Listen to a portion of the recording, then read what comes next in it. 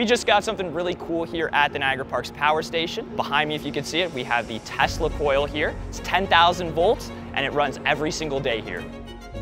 A Tesla coil was invented by Nikola Tesla uh, in the 1890s, and it was basically his idea for creating free wireless electricity around the globe. It was actually very widely used in uh, radio technology. It's also used in the film industry sometimes for special effects, things like that. It's every hour on the hour to display the Tesla coil. We talk a little bit about the science behind it and its history, where we also talk a little bit about Nikola Tesla and his history here in the station. Coil can play a various number of songs and tunes, and that's usually what we do on our demonstration. Uh, it plays anything from like Viva La Vida by Coldplay all the way to the Ghostbusters. There are a variety of songs that can be played here at the uh, power station. We also have a small Tesla coil that's in a Faraday cage that you can actually uh, play with the electric arcs of this Tesla coil here. It is a very rare experience to have around North America. There aren't too many of them that you can actually go up close and personal uh, and see work on a day-to-day -day basis. So we're very lucky to have that here in the facility. So come on down to the power station and see the Tesla coil here.